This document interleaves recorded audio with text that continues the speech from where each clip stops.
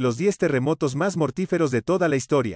El 6 de febrero, un terremoto de magnitud 7.8 sacudió el sur de Turquía y la vecina Siria, seguido de una réplica muy fuerte de magnitud 7.5, figura entre los 10 más mortíferos de la historia. El 11 de marzo de 2011, Japón se vio sacudido por un terremoto de magnitud 9.1, menos de una hora después, una ola gigantesca de más de 20 metros en algunos puntos golpeó la costa de la región de Toku, noreste, arrasando todo a su paso.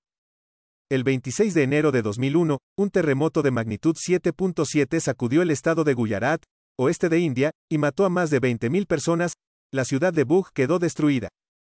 El 26 de diciembre de 2003, un terremoto de magnitud 6.6 sacudió la ciudad de Bam, en el sureste de Irán, causando la pérdida de más de 31.000 personas, el 8 de octubre de 2005, un terremoto de magnitud 7.6 mata a más de 73.000 personas y deja sin hogar a 3.5 millones, principalmente en la Cachemira controlada por Pakistán.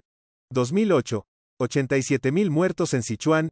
El 12 de mayo de 2008, un terremoto de magnitud 7.9 causó más de 87.000 muertos y 4.45 millones de heridos y devastó amplias zonas de la provincia de Sichuan, suroeste de China. El 12 de enero de 2010, un terremoto de magnitud 7 mató a más de 200.000 personas en Haití y dejó a 1.5 millones sin hogar. El 26 de diciembre de 2004, un terremoto de magnitud 9.1 frente a las costas de Sumatra, Indonesia, provocó un gigantesco tsunami que mató a más de 230.000 personas en las costas de 10 países del sudeste de Asia, 170.000 de ellas en Indonesia.